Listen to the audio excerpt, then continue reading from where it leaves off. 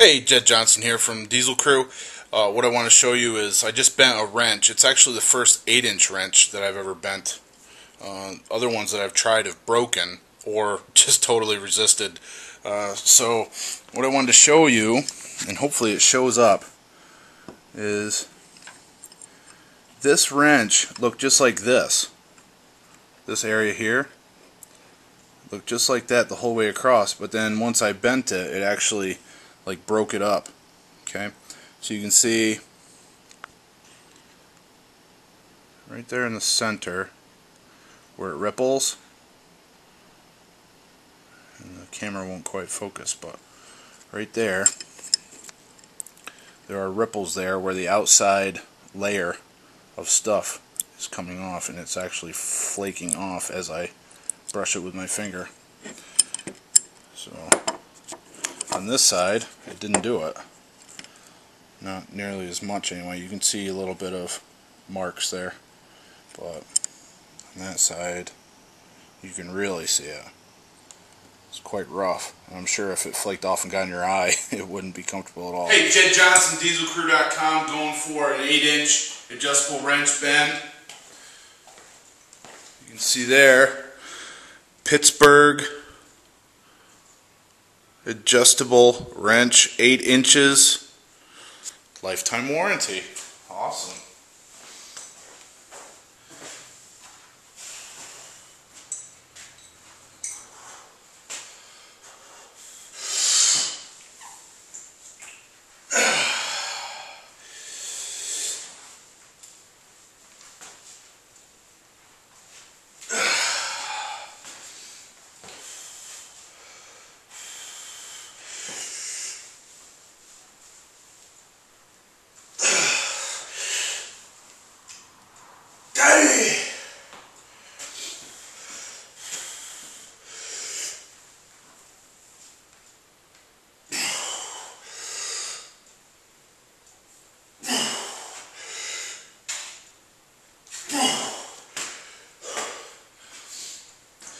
I get like five more degrees, can finish this bastard.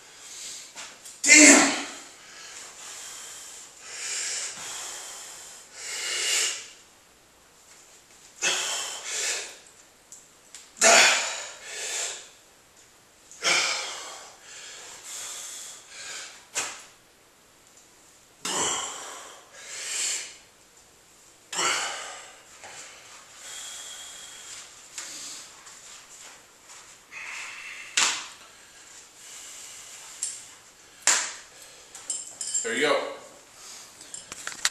Pretty stoked. First 8 inch, eight, first 8 inch, pretty stoked. First 8 inch wrench.